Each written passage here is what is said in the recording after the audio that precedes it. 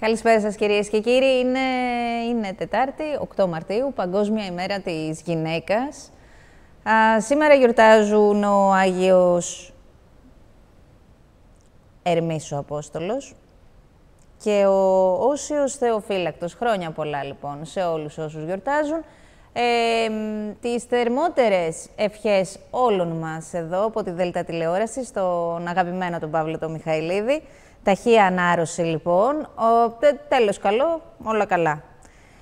Ε, πάμε να ξεκινήσουμε γιατί η επικαιρότητα τρέχει και σήμερα παρά το γεγονός έτσι ότι γιορτάζουν οι γυναίκες δεν ε, πήγε και πολύ καλά αυτό γιατί ήταν και μέρα απεργίας, ήταν μέρα α, κινητοποιήσεων, ήταν μέρα που βγήκαν όλοι οι άνθρωποι στους δρόμους και πραγματικά μιλάμε για λαοθάλασσα ε, και στις μικρότερες πόλεις, όχι μόνο σε Αθήνα και Θεσσαλονίκη, προκειμένου έτσι να, να εκφράσουν την οργή τους για το δυστύχημα, το τραγικό αυτό δυστύχημα των α, τεμπών, α, τη σύγκρουση αυτή των τρένων που, που, δυστυχώς, που δυστυχώς έφερε 57 θανάτους.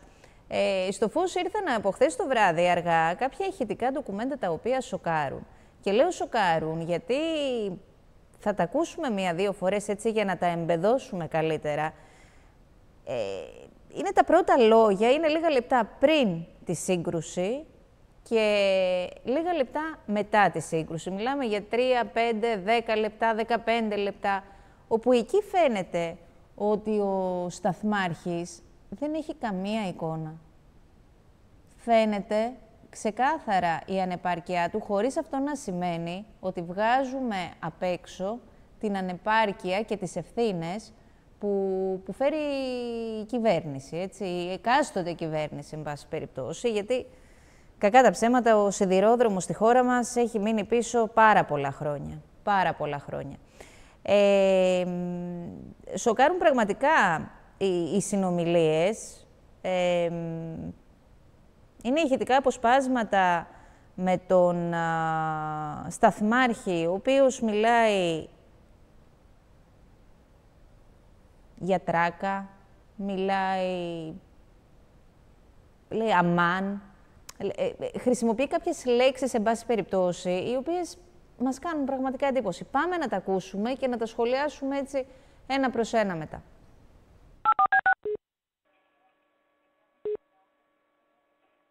Έλα. Έλα, Βασίλη. Με Τώρα σου διώχνουν το 62. Ναι, έλα, διώξε το ξεπάρω μετά. Έλα. Πάρε με εσύ. Ναι, έγινε, έγινε. Ναι. Δεν πήρε πρίσβηση. Κύριε, το Έλα. 62 από πού το έδιωξε, Ε, από πού το έδιωξε το 62. στη γραμμή κα, ανώδου κανονικά. Γιατί αυτοί λένε ότι έχει γίνει α, ε, εμπορικό με τέτοιο, έχει γίνει σύγκρουση. Αμάν. Πώς έγινε αυτό; Καλώς. Δεν ξέρω ό,τι και να σας πω. Άνοδο δεν το έχεις ρε. Ναι. Τι άλλη κάθοδο. Έγινε. Αγγελισμό είναι λένε. Τι έχει γίνει; Πρέπει να γίνει τράκα. Τι τράκα με Δεν ποιον. ξέρω. Παντελή. Ναι. Από εδώ έφυγε στη γραμμή ανώδου. Τι έγινε, πώς και τι με τα κλειδιά σήμερα δεν ξέρω τι γίνεται. Όπως έγινε και με το 2597, τώρα τι έγινε, πώς πήγαν εκεί πέρα αυτοί, δεν ξέρω. Ό,τι και να σου πω, θα σου πω ψέματα. Εκεί από το ανώδο το έδιωξε. Από άνοδο. Από άνοδο την έδειξα από εδώ πέρα. Τώρα πώς γύρισαν τα κλειδιά αυτά, Έγινε. έκανε. Πώς Ε, γύρισαν τα δηλαδή, κλειδιά και γι- μπήκε στην γίνανε- κάθοδο. Έχει γίνει με τράπα με το εμπορικό. Ναι, Σίγουρο είναι αυτό; ναι. Έγινε. Έλα, Ελένια. Βασίλη, τι έχει συμβεί; Έγινε τράκα. Ναι, πώς έγινε τράκα; Δεν ξέρω. Ό,τι να σου πω, Ελένη, θα σου πω ψέματα. Τώρα πώς έγινε και μπήκε στην, κα- στην κάθοδο αυτό το τρένο, δεν ξέρω. Τι είσαι; Εντάξει. Τον καλεί λοιπόν αρχικά ο ρυθμιστής κυκλοφορίας, ο οποίος βρίσκεται στην Αθήνα και έχει μπροστά του όλη την κονσόλα, στην οποία βλέπει πού κινείται ποια αμαξοστοιχεία σε οποιοδήποτε μέρος της χώρας. Βλέπει λοιπόν ο ρυθμιστής της κυκλοφορίας από την Αθήνα ότι κάτι δεν πάει καλά. Και το βλέπει αυτό μάλλον τη στιγμή έτσι όπως καταλαβαίνουμε από τη συνομιλία, που έχει συμβεί ήδη η σύγκρουση. Δεν υπάρχει ρεύμα, υπάρχει πρόβλημα στην ηλεκτροδότηση. Τηλεφωνεί λοιπόν στο σταθμάρχη για να το ρωτήσει αν έχει εντοπίσει κάτι, αν έχει πέσει κάτι στην αντίληψή του. Δεν γνωρίζει τίποτα. Του ζητάει να τον ενημερώσει, να μάθει και να τον ενημερώσει. Έχει προηγηθεί η συνομιλία με την σταθμάρχη του επόμενου σταθμού των νέων πόρων, την Ελένη, όπου της λέει ότι στόχο στείλει όλα καλά. Δεν προβληματίζεται κανείς. Έχει ανησυχία ο ρυθμιστής κυκλοφορίας, γιατί ήδη έχει μάθει ότι κάτι έχει συμβεί από την Αθήνα. Στη Λάρισα δεν ξέραμε τι έχει συμβεί. Τον ξανακαλεί και ακούμε ένα «Αμάν». Ενημερώνει μετά ότι έγινε τράκα. Ας τους ακούσουμε τους διαλόγους άλλη μία φορά και θα συνεχίσουμε μετά να δούμε τι άλλο καινούριο έχει προκύψει.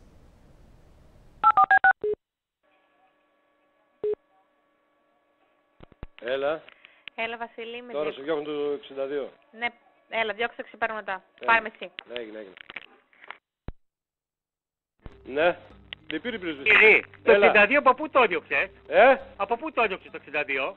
στη γραμμή κα, ανώδου κανονικά. Γιατί αυτοί λένε ότι έχει γίνει α, ε, εμπορικό με τέτοιο, έχει γίνει σύγκρουση. Αμάν. Πώς έγινε αυτό; Καλώς. Δεν ξέρω ό,τι και να σας πω. Άνοδο δεν το έχεις, ρε. Ναι. Τι άλλη κάθοδο. Έγινε. Αγγελισμό είναι, λένε. Τι έχει γίνει; Πρέπει να γίνει τράκα. Τι τράκα με Δεν ποιον. ξέρω. Παντελή. Ναι. Από εδώ έφυγε στη γραμμή ανώδου. Τι έγινε, πώς και τι με τα κλειδιά σήμερα δεν ξέρω τι γίνεται. Όπως έγινε και με το 2597, τώρα τι έγινε, πώς πήγαν εκεί πέρα αυτοί δεν ξέρω. Ό,τι και να σου πω, θα σου πω ψέματα. Εκεί από το ανώδο το έδιωξες. Από άνοδο. Από άνοδο την έδειξε από εδώ πέρα. Τώρα πώς γύρισαν τα κλειδιά αυτά. Έγινε. Πώς Ε, γύρισαν τα δηλαδή, κλειδιά και γι- μπήκε στην γίνανε- κάθοδο. Έχει γίνει με τράπα με το εμπορικό. Ναι, Σίγουρο είναι αυτό; ναι. Έγινε. Έλα, Ελένη. ε. Βασίλη, τι έχει συμβεί; Έγινε τράκα. Ναι, πώς έγινε τράκα; Δεν ξέρω. Ό,τι να σου πω, Ελένη, θα σου πω ψέματα. Τώρα πώς έγινε και μπήκε στην, κα- στην κάθοδο αυτό το τρένο, δεν ξέρω. Τι είσαι; Εντάξει. Κανείς δεν κατάλαβε πώς μπήκε στην κάθοδο αυτό το τρένο. Να πούμε ότι έτσι ε, μαθαίνουμε διάφορα, α, τα οποία φυσικά θα τα, θα τα ψάξει η δικαιοσύνη και θα τα ελέγξει περαιτέρω. Α, ήταν τρεις οι άνθρωποι που έπρεπε να βρίσκονται σε εκείνη τη βάρδια. Οι παλιότεροι αποφάσισαν να φύγουν νωρίτερα, γιατί ήταν και πολύ κουρασμένοι. Επομένως άφησαν τον άπειρο τον άπειρο να, να τα βγάλει πέρα. Θα δούμε πώς θα εξελιχθούν όλα αυτά. Το, το ενθαρρυντικό είναι ότι όλες οι διαδικασίες κινούνται πάρα πολύ γρήγορα.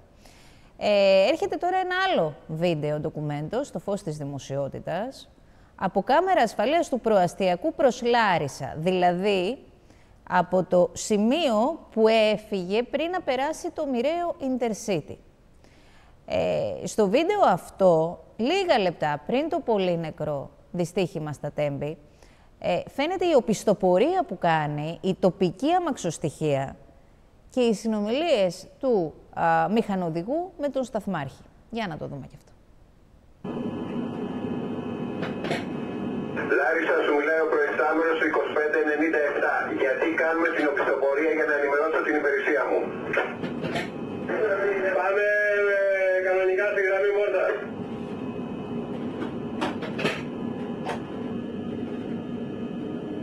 Ελευθερώσαμε να κάνω μπροστά. Ναι, ναι, πάμε μπροστά στη γραμμή Μόρτα. Σιγά να μη σ' απαντήσω όσο και να ρωτάς.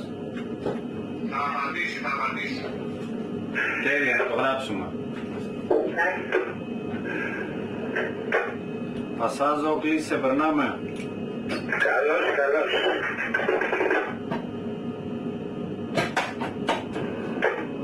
Ο σταθμάρχης της Λάρισας μπορεί να ενημερώσει το προϊστάμενο του 2597 για τη διαδικασία της οπισθοπορίας. Το λόγο. Φλασάρεις ένα κλειδί.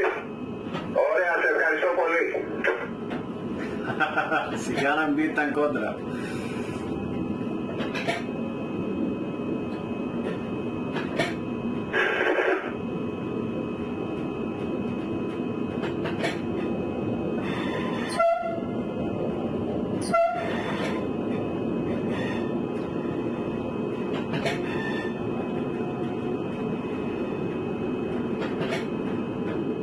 Λοιπόν, πάμε στον α, Γιάννη Χριστάκο για να μας α, βοηθήσεις, Γιάννη, να καταλάβουμε τι ακριβώς παρακολουθήσαμε. Α, ξαναλέμε ότι α, πρόκειται για ένα βίντεο α, ντοκουμέντο, οπτικό και ηχητικό, το οποίο έχει τραβηχτεί από το εσωτερικό του προηγούμενου τρένου από το Μοιραίο.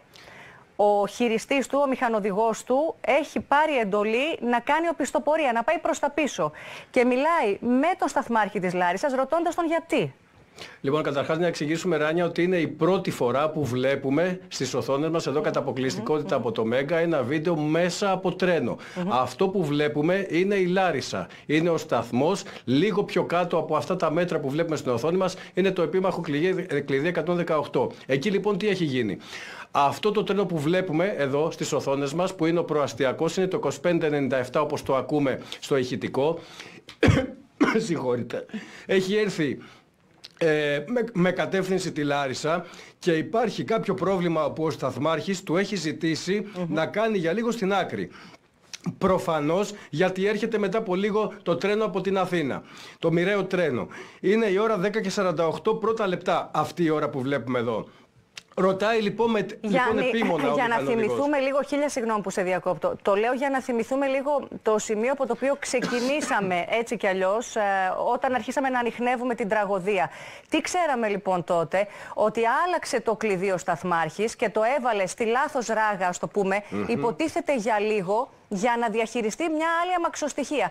Είναι αυτή η αμαξοστοιχεία. Ναι. Για αυτή Εδώ κάνει μιλάμε. πίσω, όπως το Μόνο που βλέπουμε στην ποτέ- εικόνα μας, το τρένο κάνει πίσω Μπράβο, αυτή την Μόνο ώρα που, που ποτέ βλέπουμε. δεν επέστρεψε τα κλειδιά στη σωστή θέση. Για να δούμε τώρα τι είναι αυτό που βλέπουμε και τι έχει γίνει εδώ. Ρωτάει λοιπόν ο μηχανοδηγός του προαστιακού που κινείται όπως βλέπουμε εδώ. Γιατί λέει να κάνω επιστοπορία, απαντήστε μου, ρωτάει το σταθμάρχη. Ναι. Δεν το απαντάει ο σταθμάρχης την πρώτη φορά, προφανώς κάτι κοιτάει εκεί στην οθόνη του. Τη δεύτερη φορά που ρωτάει φαίνεται και το φοβερό ντοκουμέντο διότι ο σταθμάρχης του απαντάει φλασάρει το κλειδί. Να εξηγήσουμε τι σημαίνει φλασάρει στο κλειδί. Εκείνη τη στιγμή ο σταθμάρχης βλέπει κάποιο πρόβλημα στην οθόνη του. Βλέπει κάτι να αναβοσβήνει στον πίνακα ελέγχου που έχει μπροστά του και το φλασάρει το κλειδί προφανώς σημαίνει ότι υπάρχει εκεί κάποιο πρόβλημα το οποίο το βλέπει εκείνη την ώρα και τον λέει στο μηχανοδηγό της Λάρισα, του, του, του προαστιακού προς Λάρισα, ο οποίος έχει ρωτήσει δύο και τρεις φορές πείτε μου γιατί κάνω οπισθοπορία. Φλασάρει το κλειδί, αν καταλαβαίνουμε καλά, σημαίνει μάλλον ότι αναβοσβήνει. Να πούμε ότι ρωτώντας και εμείς για να καταλάβουμε, διότι εδώ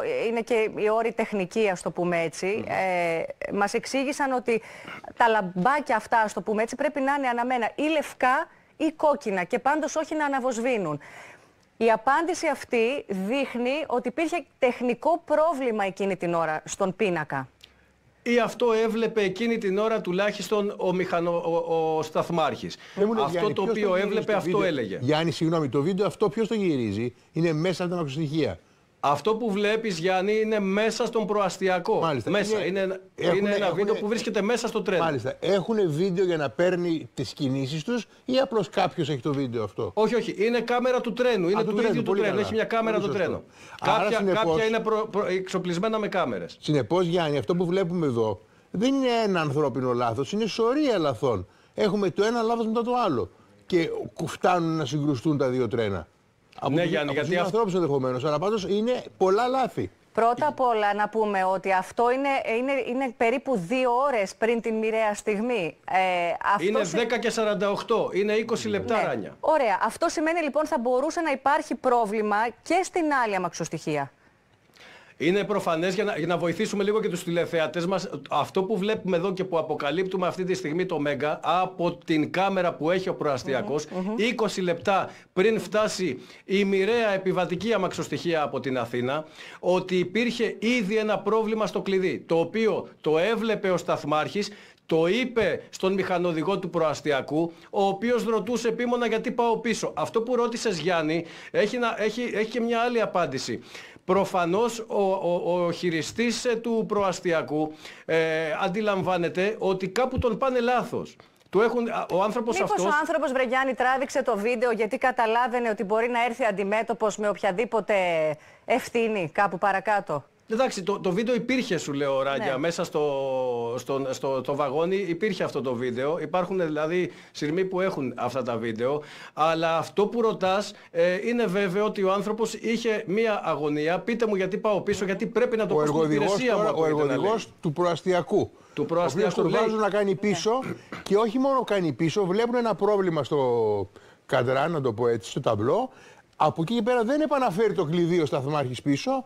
Έρχονται τα τρένα, παρακολουθεί το ένα τρένο περίπου 15 λεπτά να έρχεται ο σταθμάρχης μέχρι να μην κάνει τίποτα και αφού φτάνουν και οι δύο χωρίς να έχει γίνει τίποτα συγκρούονται.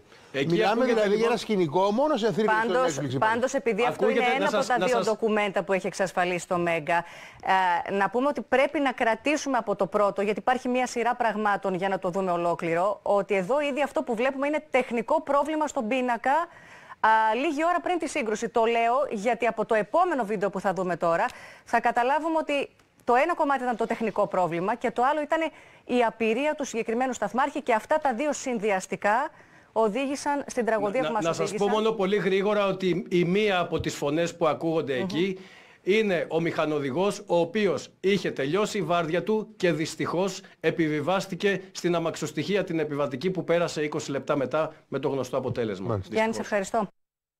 Πολλά, πολλά ακόμα θα δουν το φως της δημοσιότητας και όπως είπαμε τις τελευταίες μέρες θα μας απασχολήσει το, το θέμα αυτό για πάρα πολύ μεγάλο χρονικό διάστημα. Ε, τώρα πάμε στον Νίκο τον Χαυτούρα, τον γιατρό, α, ο οποίος τυχαίνει να είναι και πρόεδρος α, των νοσοκομιακών γιατρών Μαγνησίας, ο οποίος ήταν αυτός που έδωσε την αναρωτική άδεια α, για ένα ολόκληρο μήνα στον επόπτη, ο οποίος φυσικά σχετίζεται με την ανίποτη αυτή τραγωδία, ε, λίγες ώρες μετά το, τρο- το, μετά το, το δυστύχημα. Ε, μίλησε στο Μέγκα ο κύριος Χαυτούρας να σας πω ότι δεν θα μ, συμπεριληφθεί στα ψηφοδέλτια του Πασόκ γιατί ανήκει α, στο Πασόκ κίνημα αλλαγής πολιτικά. Ε, εξέφρασε την, α, τη θλίψη του και είπε ότι δεν γνώριζε πως ο επόπτης βρισκόταν σε επιτελική θέση. Ας δούμε και αυτό το απόσπασμα για να σχηματίζουμε σιγά σιγά ο καθένας τη δική του άποψη. Έχω και εγώ προσωπικά βιώματα, έχω, προ- είμαι και εγώ πάνω, έχω προσφέρει σε τέτοιες τραγωδίες και στη συγκεκριμένη τραγωδία χρειάστηκε ήμουν ένα απόγευμα από το πρωί μέχρι το βράδυ, από το μεσημέρι μέχρι το βράδυ με την ομάδα διάσου. Στην άλλη ήμουν εκεί στον τόπο του ατυχήματος με το ΕΚΑΒ. Τέλος πάντων αυτά δεν έχουν ε, σημασία. Αυτό που έχει σημασία είναι, για να καταλάβει και ο κόσμος, ότι αυτή τη στιγμή, χθες ήταν όλη τη μέρα το θέμα η άδεια. Δόθηκε μία άδεια. Εγώ τον γνώριζα τον ε, κύριο Νικολάου, αλλά δεν ήμουν ούτε φίλος, ήταν ένας γνωστός. Ούτε για καφέ πήγαινα, ήταν ένας γνωστός. Τη θέση και η του τη αλήθεια είναι ότι γνωρίζατε στον νόμιζα ΟΣΕ. και η αλήθεια Θα, θα σας αφήσουμε να πείτε Η ό,τι θέλετε, αλήθεια- απλά λίγο για να μας λύνετε τις απορίες. Τη θέση Ναι. του στον ΟΣΕ τη γνωρίζατε όταν ήρθε να σας βρει; Δεν τη γνώριζε, αυτό πήγα να πω. Δεν τη γνώριζε τη θέση του. Νόμιζα συνδικαλιστικά ότι είναι στην Αθήνα κάτω σε συνδικαλιστικά κορυφαία όργανα. Αυτό νόμιζα. Από Δεν εκεί και ξέρατε πέρα ότι είναι όμως, επόπτης δηλαδή ε, Τον στη γνώριζα Λάρισα. κιόλας επειδή είχα χειρουργήσει κάποιον με βαριά κρανικεφαλική κάκωση εργαζόμενο του ΟΣΕ και από τότε έτυχε να τον γνωρίζω.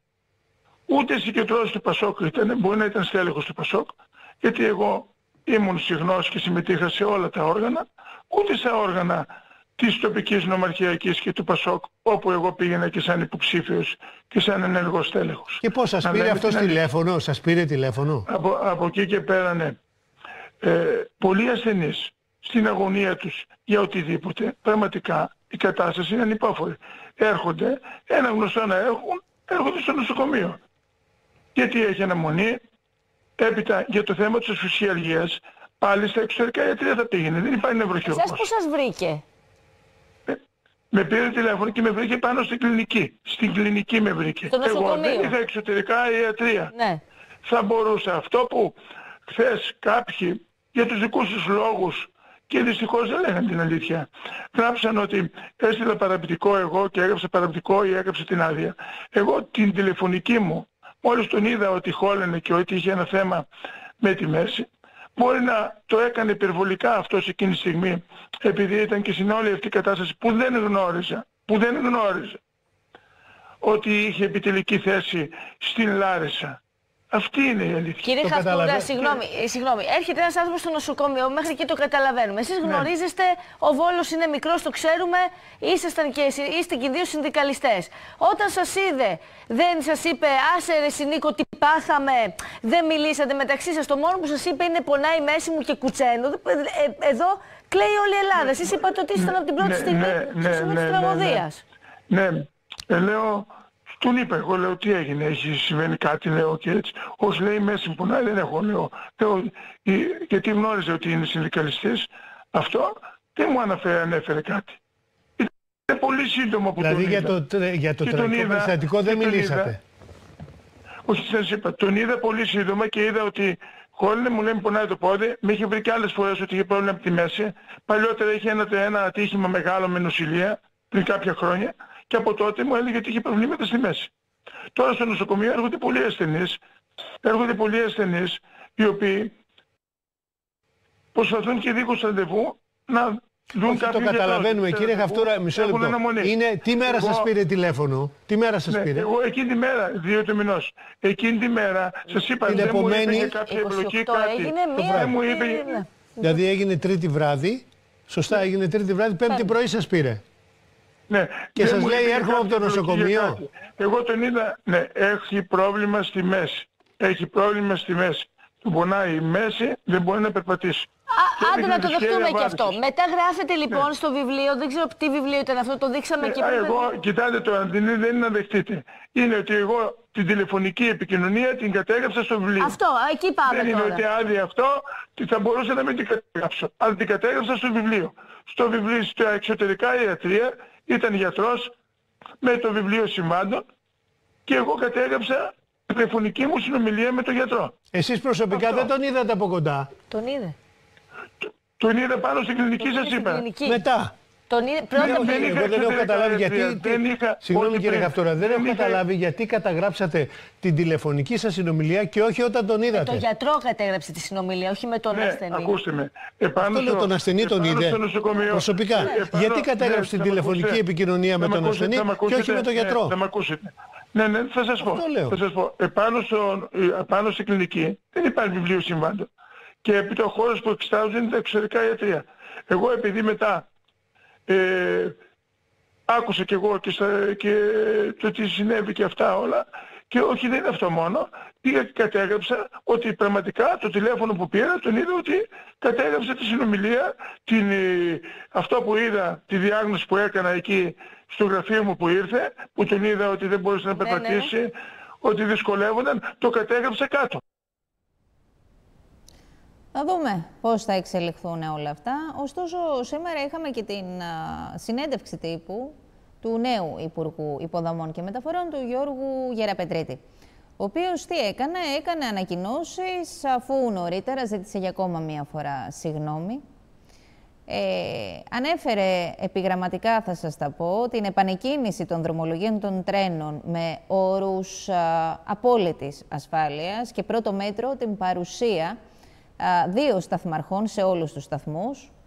Παράλληλα, ανακοίνωσε ότι θα υπάρξει πλαίσιο αποζημιώσεων από το κράτος προς τις οικογένειες των θυμάτων, δια, δια, διαμηνύοντας συγγνώμη, ότι η κυβέρνηση είναι και θα είναι από πάνω σε ό,τι αφορά τις αποζημιώσεις της Hellenic Train.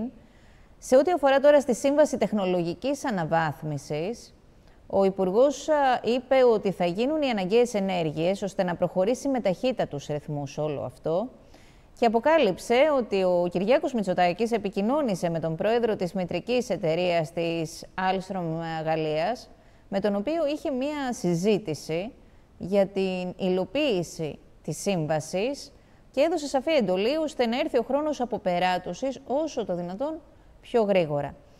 Ε, ας δούμε ένα απόσπασμα από την σημερινή συνέντευξη τύπου για να πάμε μετά και στις απεργίες. Θα ήθελα και εγώ πρώτα απ' όλα να εκφράσω την οδύνη μου και το σπαραγμό μου για ό,τι συνέβη στα Τέμπη. Πρόκειται για μια πρωτοφανή εθνική τραγωδία η οποία μας σημάδεψε όλους.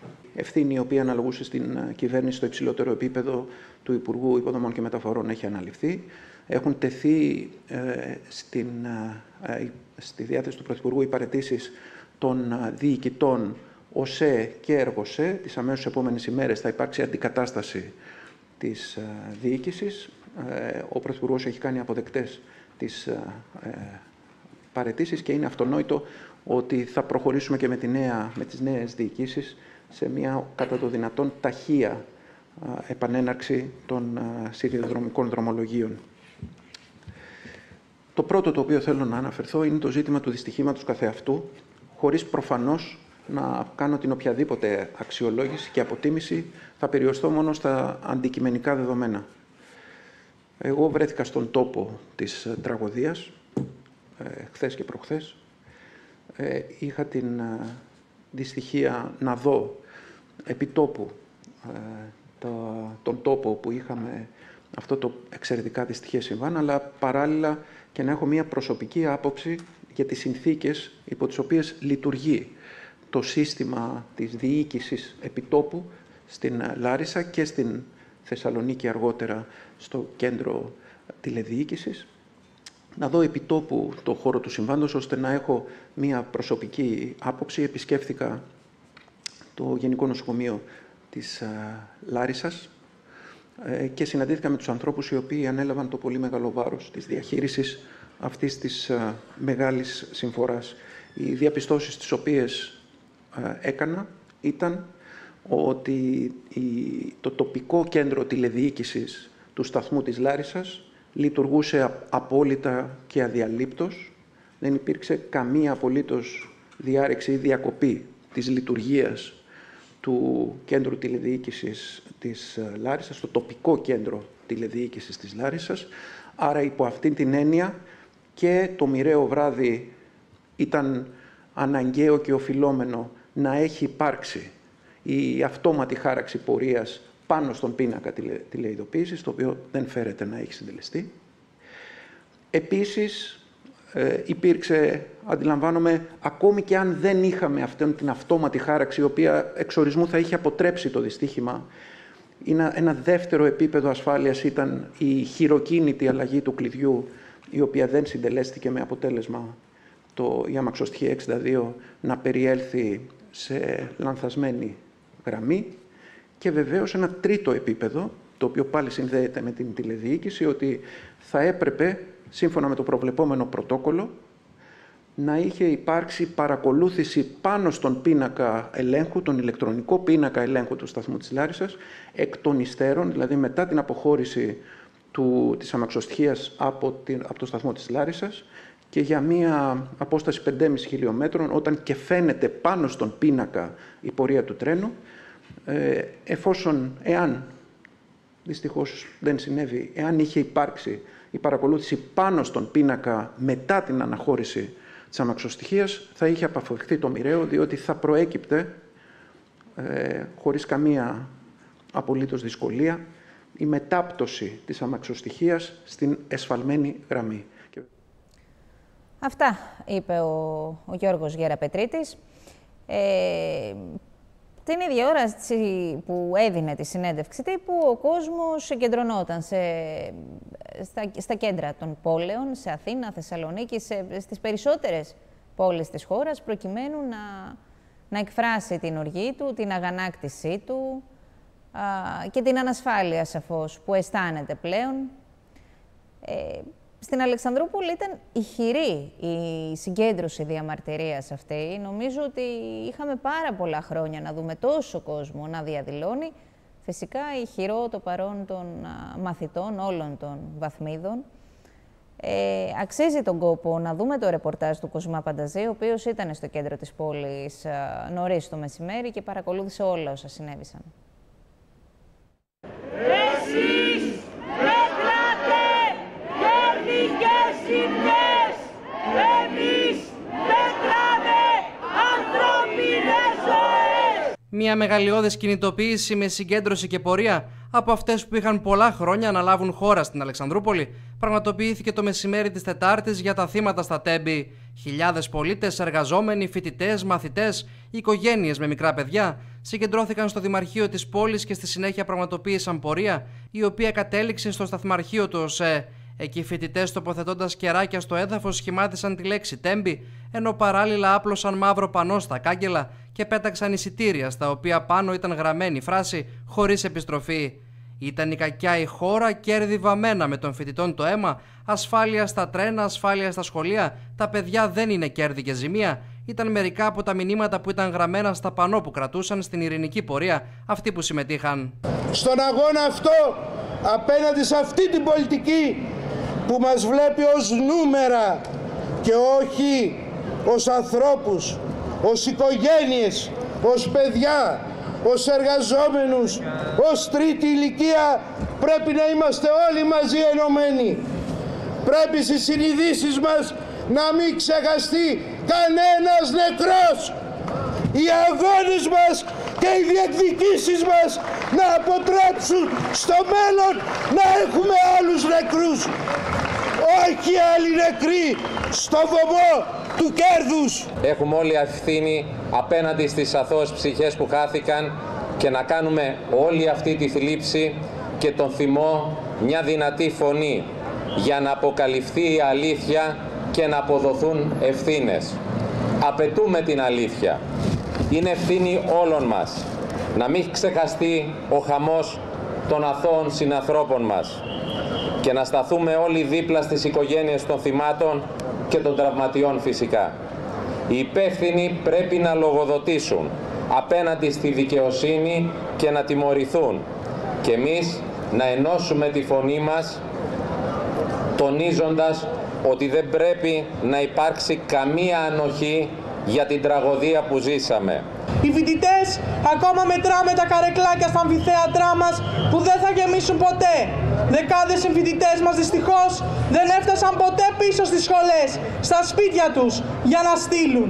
Το έγκλημα στα τέπη μας γεμίζει θλίψη και οργή. Οργή για μια πολιτική που έχουν ακολουθήσει όλες οι κυβερνήσεις όλα αυτά τα χρόνια και μας θέλει να ζούμε από τύχη. Και δεν είναι δυνατόν κανείς μας να συμβιβάζεται στον 21ο αιώνα με αυτά τα άλματα που έχουν συντελεστεί στην επιστήμη και την τεχνολογία. Να ζει από τύχη, να κόβει εισιτήρια χωρίς επιστροφή. Σήμερα λοιπόν ενώνουμε τη φωνή μας με τους χιλιάδες φοιτητές, μαθητές και εργαζόμενους που σε όλη τη χώρα είναι στο δρόμο, δίνοντας όρκο αυτό το έγκλημα να μην ξεχαστεί, να μην συγκαλυφθεί από κανέναν, να, να... να αποδοθούν όλες οι ευθύνες. Φωνάζουμε ως εδώ. Πρέπει να ακουστεί αλήθεια. Ανθρώπινο λάθος είναι αν κάποιος παράβει κάποιο φανάρι. Αυτό είναι, είναι ανθρώπινο λάθος. Αυτό που έγινε είναι έγκλημα όμως. Και πρέπει να πληρώσουν όλοι.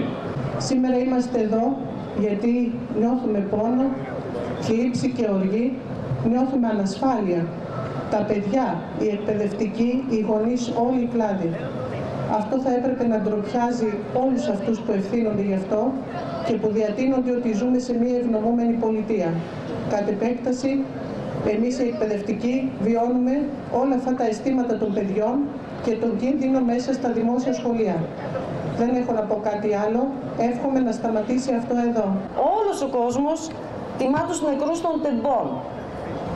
Με ποιο τρόπο; Οι εργαζόμενοι απεργώντας. Οι μαθητές και οι φοιτητές φωνάζοντας μέσα και έξω από τα σχολεία και τις σχολές τους με κάθε τρόπο και δράση. Οι γονείς μαζί με τα παιδιά μας βροντοφωνάζουμε και απαιτούμε να μην συγκαλυφθεί το έγκλημα αυτό. Να μην συμβεί ποτέ ξανά θυσία ανθρώπινων ζωών για να μην χαθούν κέρδη. Συνεχίζουμε κλινακώνοντας με τη σημερινή απεργιακή μας συγκέντρωση που αντίστοιχες γίνονται σε όλη την Ελλάδα για να πιέσουμε ακόμη περισσότερο για να αναδειχτούν οι πραγματικές ευθύνες του εγκλήματος. Είμαστε εδώ για να τσακίσουμε τη σαπίλα της ψευτιάς και της υποκρισίας όλων αυτών που κυβέρνησαν και με τις ευματοβαμμένες τους υπογραφές ευθύνονται. Είμαστε εδώ για να ακουστεί η δική μας φωνή και όχι τα κάθε λογής παπαγαλάκια που από την πρώτη μέρα έπιασαν στα σίδη για να βγάλουν λάδι κυβέρνηση και εταιρεία. Η ανακοίνωση της ΔΕΣ Ξεοδρομικών ήταν η 7η στη σειρά που κυκλοφόρησε στις 7 του Φλεβάρι 20 μέρες πριν. Ήταν μια ίστατη προσπάθεια. Λάδι η 7η στη σειρά που κυκλοφόρησε στις 7 του Φλεβάρι 20 μέρες πριν. Ίστατη προσπάθεια. Λάδι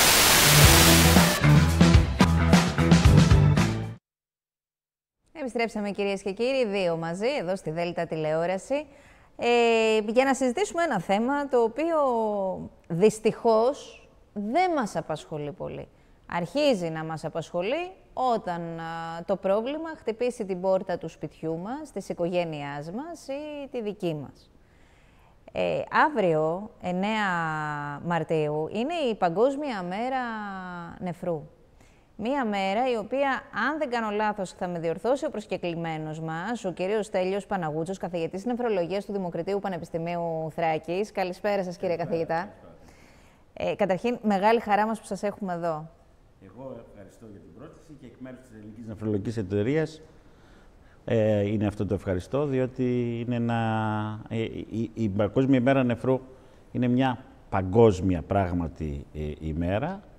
Γιορτάζεται σε όλο τον κόσμο και νομίζω ότι έχει ενδιαφέρον να, α, να, το, να, να, να αναδεικνύουμε αυτή την ημέρα, γιατί ευαισθητοποιεί το πληθυσμό για τις νεφρικές παθήσεις. Διορθώστε με αν κάνω λάθος, το αν ισχύει ότι από το 2006 γιορτάζεται αυτή η μέρα κάθε δεύτερη ε, Δευτέρα, ε, πέμπτη, πέμπτη. συγγνώμη, κάθε δεύτερη πέμπτη του, του Μαρτίου. Έτσι ακριβώς είναι, ναι. Έχει καθιερωθεί από το 2006.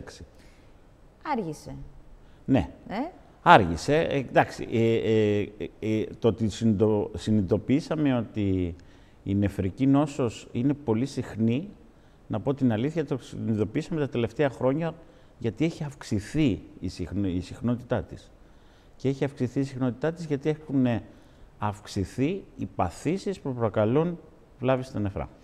Κύριε καθηγητά, ε, δεν, δεν ξέρω, ίσως ε, οι, οι νεφροί μας να είναι λίγο παραμελημένοι ή τουλάχιστον αυτή την αίσθηση έχω. Γιατί δεν είναι... ε, δεν, δεν το ακούμε συχνά, δεν το συναντάμε συχνά. Και όπως λέγαμε και πριν, στο διαφημιστικό διάλειμμα, είναι και λίγο ύπουλο σε εισαγωγικά αυτό το, αυτά, ή- ύπουλα αυτά τα όργανα του σώματος, γιατί δεν μας θορυβούν. Έτσι ακριβώς είναι. Δυστυχώς, όταν αρχίζουν να χαλάνε οι νεφροί, δεν δίνουν συμπτώματα. Και για να είμαι συγκεκριμένος, θα σας πω ότι με βάση τις έρευνες που τουλάχιστον έχουν γίνει στις Ηνωμένες Πολιτείες, που εκεί τέλος πάντων γίνονται οι περισσότερες έρευνες, γύρω στο 14 με 15% του γενικού πληθυσμού, όχι των αρρώστων, του γενικού πληθυσμού, έχει κάποιο πρόβλημα νεφρικής νόσου, έχει κάποιο στάδιο, είναι σε κάποιο στάδιο χρόνιας νεφρικής νόσου και δεν το ξέρει πρακτικά. Το ξέρουν στα τελευταία στάδια όπου υπάρχουν συμπτώματα και γι' αυτό και ζητάνε και τη βοήθεια των νεφρολόγων και βέβαια όταν τα πράγματα γίνουν ε, πολύ άσχημα μπαίνουν σε αιμοκάθαρση, μπαίνουν σε περιτονική κάθαρση, χρειάζεται να κάνουν μεταμόσχευση κλπ. κλπ. Όλα αυτά τα δύσκολα που έρχονται μετά. Ακριβώς. Πώς όμως θα πρέπει να καταλάβουμε ότι κάτι δεν πάει καλά. Τι είναι αυτό που χρειάζεται να κάνουμε, από ποια ηλικία και μετά θα πρέπει να ελέγχουμε και τους νεφρούς μας και θα, δεν Ναι, ξέρω, αν υπάρχει κοιτάξτε, κάποια να σας συγκεκριμένη πω. εξέταση ενδεχομένως. Να σας πω. Δ- Αυτή τη στιγμή δεν συστήνεται σε όλο τον πληθυσμό να κάνει ένα, ε, ένα check-up, ας πούμε, για να δει αν οι νεφροί του δουλεύουν καλά ή όχι. Αυτό που συστήνεται όμως είναι ότι πρέπει α, οι άνθρωποι οι οποίοι πάσουν από παθήσεις οι οποίες προσβάλλουν τους νεφρούς, αυτοί να έχουν μία τακτική παρακολούθηση της νεφρικής λειτουργίας. Η κληρονομικότητα παίζει Η ρόλο; κληρονομικότητα, υπάρχει κληρονομικ, υπάρχουν κληρονομικές νόσοι. Βέβαια, οι οικογένειες που έχουν πρόβλημα το ξέρουν συνήθως. Έχουν δηλαδή, το ξέρουν γιατί ο παππούς, η γιαγιά, ο μπαμπάς, η μαμά, αδελφός, ε, έχει ήδη εκ- εκδηλώσει την νόσο. Εκείνο το οποίο χρειάζεται όμως είναι η μεγάλη μάζα, που ποια είναι η μεγάλη μάζα που έχει αυξηθεί πάρα πολύ τα τελευταία χρόνια και είναι αυτός ο λόγος πρακτικά που έχουν αυξηθεί, έχουν- έχει αυξηθεί και η χρόνια νεφρικής νόσος. Είναι η διαβητική και η υπερτασική. Δυστυχώς, αυτές οι δύο ε, νο- ε, παθήσεις είναι που έχουν Στους αυξήσει... διαβητικούς δεν έχουμε ηλικία. Στους υπερτασικούς, ε, λίγο εκεί μπορούμε να, να οριοθετήσουμε πάνω κάτω την ηλικία. Κοιτάξτε, από τη στιγμή που κάποιος είναι υπερτασικός, θα πρέπει ο γιατρός του να προσέχει, μάλλον να παρακολουθεί τα όργανα τα οποία μπορεί να χτυπήσει η, η, η υπέρταση. Και η υπέρταση βασικά αυτό το οποίο, αυτά το, τα όργανα τα οποία χτυπάει είναι η νεφρή, τα μάτια, η καρδιά, ο εγκέφαλος. Ε, γίνονται πολλές δράσεις, πολλές προσπάθειες ε, για την ευαισθητοποίηση του κόσμου. Ναι, αυτό, αυ, αυ, αυτή είναι βασικά και η, Δεν ξέρω και η- κατά η πόσο καθιέρωση Παγκόσμιας ημέρας. επιτυγχάνεται κάτι, ο- κάτι τέτοιο. Δεν ξέρω ποιος είναι ο ουσιαστικός στόχος σου, αυτός καθεαυτός, που να πείτε φέτος τα καταφέραμε, φέτος ενημερώσαμε περισσότερο κόσμο από πέρυσι, από πρόπερσι. Φαίνεται πάντως από την, α, από την κίνηση που έχουν και τα, και τα οι- οι εξωτερικά ιατρία αλλά και τα ιδιωτικά ιατρία των ο, νεφρολόγων ανά τον κόσμο ότι ε, υπάρχει μια ευαισθητοποίηση. Και κυρίως, να πω την αλήθεια, αυτή η ευαισθητοποίηση ξεκίνησε και είναι, η- και, και είναι, το, και είναι το target group είναι οι γιατροί, έτσι. δηλαδή, βέβαια. οι γενικοί γιατροί, οι αγροτικοί γιατροί, οι, οι παθολόγοι, οι οποίοι πλέον ξέρουν, έχουν υπόψη τους, ότι ε, χρειάζεται μία έγκαιρη, έγκαιρη ε, διάγνωση για τη νεφρική νόσο και να μπορέσουν αυτοί οι άρρωστοι να μπουν σε μια παρακολούθηση από νεφρολόγο. Θυμάμαι πάντως, κυρία Παναγούτσε, ότι τόσα χρόνια στον Εύρο η, η ομάδα αυτή των, α, των συμπολιτών μας, των νεφροπαθών, έχουν περάσει από χίλια κύματα. Είναι αλήθεια αυτό. Έχουν περάσει από χίλια κύματα, γιατί εντάξει, και ο τομέας της υγείας ε, είναι αντιμέτωπος με πάρα πολύ έτσι, σοβαρές αγκυλώσεις και πολλά προβλήματα στην Ναι. καθημερινότητά του. Κακά τα ψέματα. Δεν έχουμε ένα σύστημα υγείας που να αρμόζει στην Ελλάδα του 2023. Ναι, κοιτάξτε να δείτε. Ε, ε, ε, δεν θα ήθελα σήμερα να, να κάνω πολιτική, Όχι, έτσι, δεν να θέλω ξέρετε. να κάνετε πολιτική Να ξέρετε. καθόλου. Εγώ, ε, δεν με Λοιπόν, αφήσετε να παρόλα ολοκληρώσω αυτά- την ερώτηση. θέλω να μου πείτε όμως σε τι κατάσταση βρισκόμαστε σήμερα, κατά πόσο έχουν βελτιωθεί τα πράγματα, κατά πόσο ε, ε, όλα αυτά με τα οποία δουλεύετε, ο εξοπλισμός σας, Ναι. είναι σε ικανοποιητικό στάδιο; Ε, τι γίνεται στον Εύρο γενικότερα; Έχετε να σας εικόνα. Πω, να σας πω. Ο Εύρος, Στη Θράκη όπως μάλλον, ξέρετε, γιατί- όπως ξέρετε, ο, Ε- ο Εύρος, ο- ναι, να, ζη- να ξεκινήσουμε από τον Εύρο. Ο Εύρος, όπως ξέρετε, είναι ένας μακρύς νομός. Έχει ένα, έχει, έχει ένα τεράστιο μειονέκτημα σε σχέση με τους υπόλοιπους νομούς. Έχει τη, την πρωτεύουσα στην άκρη. Είναι ένας μακρύς νομός, λοιπόν. Α, εγώ όταν ξεκίνησα νεφρολογία, οι, οι άρρωστοι από τα δίκαια, έτσι, ξεκινούσαν το πρωί για να έρθουν να κάνουν αιμοκάθαρση στην Αλεξανδρούπολη. Αλεξανδρούπολη. Λοιπόν, ή θυμάμαι καταστάσεις που όταν χιόνιζε, έτσι, ε, ε, Υπήρχε προσπαθούσε, αποκλεισμός. προσπαθούσε, προσπαθούσε στρατός, ελπιστριοφόρα και Ναι, τέτοια ναι, να ναι, φέρουν. ναι, ναι, τα- τα λοιπόν, θυμόμαστε τα όλοι. πράγματα, τα πράγματα προφανώς βελτιώθηκαν με την ίδρυση της μονάδας τεχνητού νεφρού στο Δημότυχο, δεν το συζητάω, έτσι. Ήταν σαφ, σαφ, σαφώς ότι βελτιώθηκαν. Και επίσης, τώρα τελευταία, στον Εύρο, αλλά και στις υπόλοιπους νομούς, έχουν ιδρυθεί και, και ιδιωτικές μονάδες τεχνητού νεφρού. Οπότε νομίζω ότι σε αυτή τη φάση προφανώς είμαστε καλύτερα από τα προηγούμενα χρόνια, δεν το συζητάω. Τώρα, όσον αφορά την, τα, τα, τα, μέσα Τα μέσα που τα έχουμε, οποία έχετε στη εντάξει, διάθεσή σας. κοιτάξτε να δείτε. Ε, δεν, έχουμε, δεν υπάρχει πρόβλημα σοβαρό όσον αφορά την, α, την, τον εξοπλισμό των μονάδων α, α, τεχνητού νεφρού. Εκείνο το οποίο θα έλεγα βέβαια, έτσι και αυτό είναι πανελλήνιο, εκείνο το οποίο, στο οποίο έχουμε πρόβλημα είναι οι μεταμοσχεύσεις. Μμ. Δεν υπάρχουν δότες. Θα ήθελα να Δυστυχώς- μιλήσουμε και για αυτό το κομμάτι λίγο. Δυστυχώς, δυστυχώς, νοοτροπία, α, ιδιοσυγκρασία, ε, το, η ελληνική δεν έχουμε τους δότες, έστω το μέσο όρο των δοτών που, που έχουν ας πούμε, στην Ευρώπη. Δεν μιλάω για τις κυρίαρχες χώρες, όπως είναι η Ισπανία, ας πούμε, έτσι, αλλά δεν έχουμε ε, ούτε καν να φτάσουμε στο μέσο όρο. Είμαστε στις τελευταίες θέσεις της Ευρωπαϊκής, ε, της, της Ευρώπης. Αν και αν μου επιτρέπετε, θεωρώ πως κάτι άρχισε να γίνεται σιγά σιγά. Βλέπουμε παραδείγματα ηχηρά τα ε, ε, παιδιά που έχουν σκοτωθεί σε τροχαία δυστυχήματα σε... και, και βλέπουμε την πολύ γενναία αυτή απόφαση που παίρνουν οι γονείς να, να δώσουν ζωή σε άλλους συνανθρώπους. Ναι, βεβαίως. Έτσι κι αλλιώς και, και γι' αυτό και τα, και τα προβάλλετε κι εσείς και ευχαριστούμε και τα προβάλλει και όλος ο κόσμος, διότι είναι παραδείγματα και ξέρετε μετά από ένα τέτοιο... Τι φταίει; Δεν ξέρω τι φταίει. Δεν, εγώ ε, πιθανόν ε, ε, δεν ξέρω τι φταίει. Φταίει ίσως ό,τι φταίει για όλα τα υπόλοιπα. ωραία. ωραία η απάντηση του καθηγητή. Πολύ ωραία. Ε, δεν ξέρω κατά πόσο έτσι γενικότερα και, και στη χώρα μας βλέπουμε ότι ε, πρέπει να, για παράδειγμα τώρα έτσι με την ειδησιογραφία και σήμερα που δεν αλλάζει και πολύ δυστυχώς μετά από αυτό το τραγικό δυστύχημα, ε, πρέπει να, να παθαίνουμε για να μαθαίνουμε κύριε καθηγητά σε αυτή τη χώρα. Γιατί πρέπει να φτάνουμε την υγεία μας στο τέρμα για να ξυπνήσουμε, για να αφυπνιστούμε και μετά να λέμε «Μα γιατί, γιατί μου έτυχε» ή «Γιατί μου συνέβη αυτό» ή «Γιατί δεν πήγα νωρίτερα», «Γιατί δεν θορυβήθηκα». Γιατί δεν έχουμε την οτροπία του να προλαμβάνουμε. Δεν έχουμε προγράμματα σοβαρά προληπτικής υγείας. Ε, δεν έχουμε προβα... α, σοβαρά προγράμματα αγωγής υγείας. Α, είναι, και είναι προγράμματα τα οποία ευαισθητοποιούν το, τον πληθυσμό προλαμβάνουν κάνοντας προληπτικές εξετάσεις, έτσι.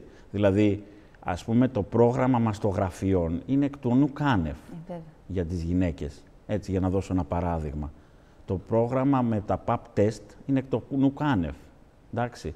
Ε, επομένως, ο, συζητάμε και τέτοιου είδους προγράμματα τα οποία θα πρέπει να ήταν ε, στην πρωτοβάθμια φροντίδα υγείας και να ε, είχε την, ε, και, και θα, θα έπρεπε να ήταν στην καθημερινή πράξη. Δηλαδή, κάποιος οικογενειακός γιατρός, ο οποίος θα παρακολουθούσε, θα είχε στη, στη διάθεσή του τα, τα, τα ιστορικά των 1.500, των 2.000 ανθρώπων που παρακολουθεί, θα έπρεπε να ξέρει πότε θα πρέπει να κάνει ο ένας την τάδε εξέταση, πότε θα πρέπει να κάνει ο άλλος την τάδε εξέταση, που θα ήταν α, αυτή η εξέταση η οποία θα έφερνε τον άρρωστο στο γιατρό πιο γρήγορα, έγκαιρα, για να μπορέσει να αντιμετωπιστεί το πρόβλημα. Μμμ. Ε, τώρα, αν δεν μπορούσατε, έτσι, από το δικό σας μετερίζει, να στείλετε ένα, ένα μήνυμα για αυτήν την παγκόσμια μέρα. Α, πέρυσι, αν δεν κάνω λάθος, είχαμε φωτίσει και το, είχα, είχε φωταγωγηθεί και ο Φάρος. Ναι, φέτος θα, Και, θα και φωταγωγηθεί ο προσπαθούσα, να Λευκός Πύργος. θυμηθώ, προσπαθούσα να θυμηθώ α, αν ήταν όντως Μάρτιος, γιατί είχε Έτσι απίστευτο ήταν. κρύο Ναι, έτσι, εκείνο έτσι, το, ε. το βράδυ. Τότε ήταν, Ήμασταν τότε μαζί, ήταν. είχε Ναι, ναι. απίστευτο κρύο. Έτσι ήταν. Ε, άρα, φέτος ο Λευκός Πύργος, Φέτος ο Λευκός Πύργος, ναι. με τη σειρά πάμε. Ωραία. Ποιο είναι το μήνυμα της ε, φετινής αυτής της ημέρας. Το μήνυμα της φετινής αυτής μέρας, τουλάχιστον για, το, για την α, εθνική μας α, ε, καμπάνια, είναι ότι άνθρωποι οι οποίοι ε, είναι ε, σε μεγάλη ηλικία, έχουν διαβήτη, έχουν υπέρταση, έχουν παχυσαρκία, έχουν κάποιο άλλο πρόβλημα υγείας που ξέρουν ότι μπορεί να προσβάλλει τους νεφρούς τους, να έχουν μια παρακολούθηση για την νεφρική τους λειτουργία, έτσι ώστε από νωρίς να καταλάβουμε ότι πάσχουν οι νεφροί και να τους αντιμετωπίσουμε για να μην φτάσουμε στο τελικό στάδιο. Να, μην- να, να, να προσπαθήσουμε να φτάσουμε έστω νωρίς στο τελικό στάδιο, γιατί αυτή είναι η, η ακριβής έννοια της πρόληψης. Να σας ευχαριστήσω θερμά, κύριε καθηγητά. Και εγώ ευχαριστώ. Ελπίζω πραγματικά να, να, να, να πιάσει τόπο το οτιδήποτε κάνουμε, να πιάνει τόπο. Αυτό μόνο. Γιατί Όχι, η υγεία εγώ, μας ε, είναι και εγώ ό,τι ευχαριστώ που πολυτιμότερο. με, που με προσκαλέσατε και που τέλος πάντων κάναμε ε, γνωστή αυτή την α, Παγκόσμια ημέρα. Να είστε καλά. Τώρα, κυρίες και κύριοι, θα πάμε να δούμε τι έγινε και σε Κομωτινή και Ξάνθη, γιατί σήμερα, όπως είπαμε και νωρίτερα, ήταν μέρα ηχηρών α, διαδηλώσεων, όπου πραγματικά μικροί και μεγάλοι βγήκαν στους δρόμους για να εκφράσουν έτσι την, την αγανάκτησή τους και τον θυμό τους για όλα αυτά που συνέβησαν στα τέμπη. Αρκετές εκατοντάδες κόσμου παρευρέθηκαν στη σημερινή πορεία διαμαρτυρίας λόγω του δυστυχήματος των τεμπών, τόσο σε Κομωτινή όσο και στην Ξάνθη, συμμετέχοντας στη μεγάλη απεργιακή κινητοποίηση που κήρυξε η ΑΔΔ. Οι φοιτητές και οι μαθητές είχαν τον πρωταγωνιστικό ρόλο. Η συμμετοχή τους για τα δεδομένα των δύο πόλεων ήταν μαζική, μιας και εδώ και πολλά χρόνια έχουν να γίνουν σε πόλεις επαρχέ τόσο μεγάλες κινητοποιήσει.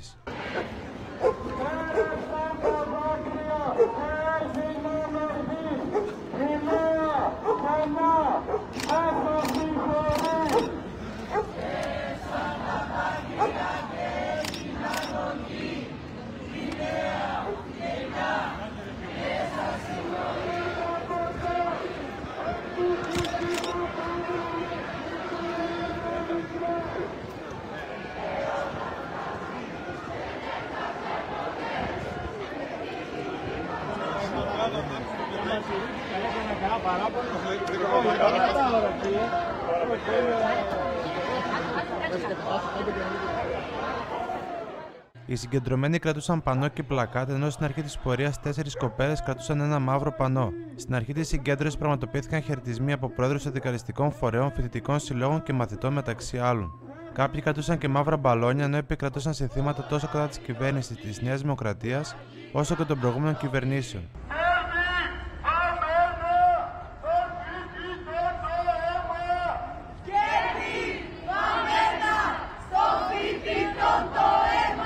Χαρακτηριστικά για τα συστήματα που έγραφαν τα πλακάτ, όπως κέρδη βουτυγμένα στο φοιτητών το αίμα, ανέγραφε αυτόν των φοιτητικών συλλόγων Κομωτινής, το στήλο όταν φτάσει δεν έφτασε ποτέ έλεγε το πανό του Μουσικού Σχολείου Κομωτινής, ενώ τα περισσότερα έγραφαν το γνωστό σύνθημα Πάρε με όταν φτάσεις. Στην Κομωτινή η πορεία άρχισε από την πλατεία Ειρήνης και κατευθύνθηκε προς το Σπαθί, και στη συνέχεια στους δρόμους του κέντρου, ενώ στην Ξάνθη ξεκίνησε από το Δημαρχείο της πόλης όπου υπήρχαν ομιλίες από συνδικαλιστικούς φορείς και συνεχίστηκε η μερινική πορεία στο κέντρο της πόλης.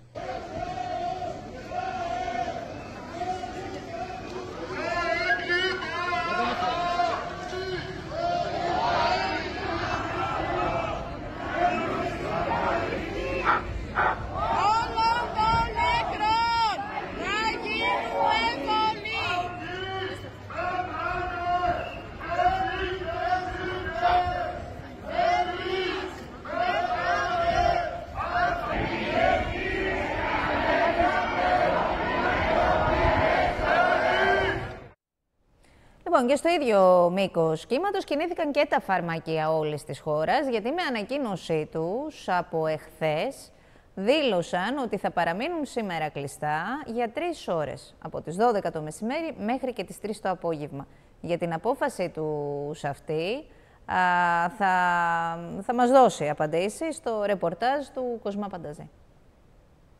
Κλειστά ήταν για δυόμιση ώρες όλα τα φαρμακεία στον Εύρο την Τετάρτη. Ο Φαρμακευτικός Σύλλογος Εύρους, συμμετέχοντας την ημέρα Πένθους, προχώρησε σε διακοπή λειτουργία των φαρμακείων από τις 12 έως τις 2.30 το μεσημέρι. Αυτό έγινε πράξη ως ελάχιστη ένδειξη σεβασμού στη μνήμη των θυμάτων του δυστυχήματος των τεμπών και συμπαράσταση στις οικογένειες που βίωσαν την απώλεια των δικών τους προσώπων. Σήμερα τα φαρμακεία στην Αλεξανδρούπολη θα μείνουν κάποιες ώρες κλειστά. Ε, κάθε φαρμακείο έχει την ανακοίνωση μπροστά στη βιτρίνα για να ενημερωθεί το κοινό για να μην ταλαιπωρηθεί.